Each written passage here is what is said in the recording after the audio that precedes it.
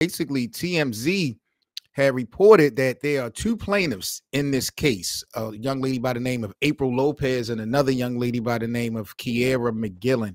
They are basically alleging that they was they was driving on the highway back in November of 2022, back in Little Rock, California, when the James, LeBron, and Bronny slammed into him.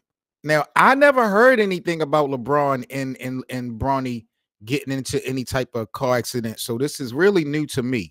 Let me pull up the article so we can kind of check this thing out together. But let me see if I can pull this up so you guys can see um, exactly what I'm looking at. I was trying to pull up this article so y'all could actually check it out.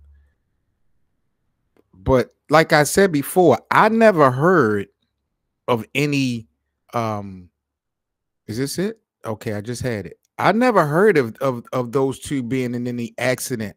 You know, there was no injuries reported as far as Bronny James and, and LeBron go. So this story to me, Lakerland, is weird as hell.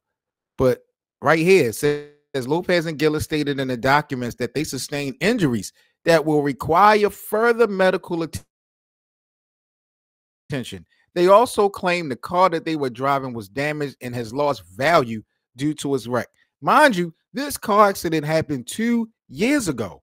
Two years ago. They just filed these court papers on Tuesday. Um, same same day as opening night. Is that ironic?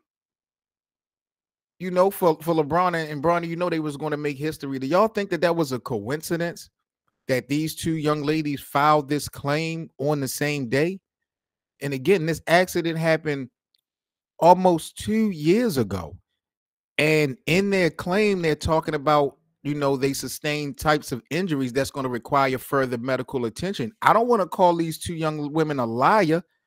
I'm just like, why would, if you have been injured due to LeBron's James negligence for two years, why would you wait to now? I mean, I don't understand whatever injury you've had that's going to continue to require further medical attention after two years must be something really serious.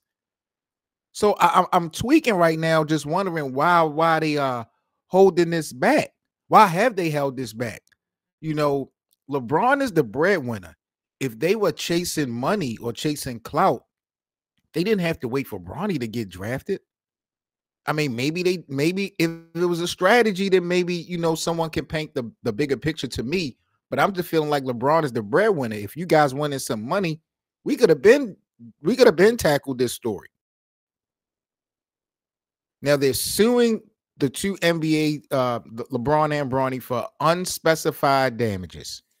Uh, this is kind of crazy to me, Lakers land. Um, just looking at this article, it says while there's very little information available on this situation, um, it certainly comes to a surprise that the elder and younger LeBron James are involved in a legal matter. That's a fact. I never knew anything about no car accident. How how did that get under the radar? What happened to the car? You know, LeBron and them drive foreign cars. So what? I don't. I'm. I don't get it. I, I really don't get it. And I don't want to call these women a liar, but this just to me and we've seen all these stories of all this old stuff coming back to, to bite celebrities and athletes and entertainers in behind. This one right here, Lakers land, is kind of weird as hell to me. One can only hope that everyone involved in this alleged accident is doing better now, nearly two years after the crash. While plaintiffs allegedly suffered injuries, the elder and younger James were seemingly either uninjured, facts, or weren't hurt badly enough for the basketball world to catch on. But this is LeBron James here, the guy who got the biggest haters. So if there was an accident with LeBron and his son involved two years ago, hmm, I don't know about this Lakers land. I, I, I really don't. This was wild to me. Hmm. For all the latest news and debates on the Los Angeles Lakers, be sure to subscribe here to the Lakers Land platform with Seven, Mitchell, BA, and Hank. Also, don't forget to check out our playback room. for our free VIP watch parties to all our Lakers games and, of course, the live Lakerland podcast. That's playback.tv slash Lakersland.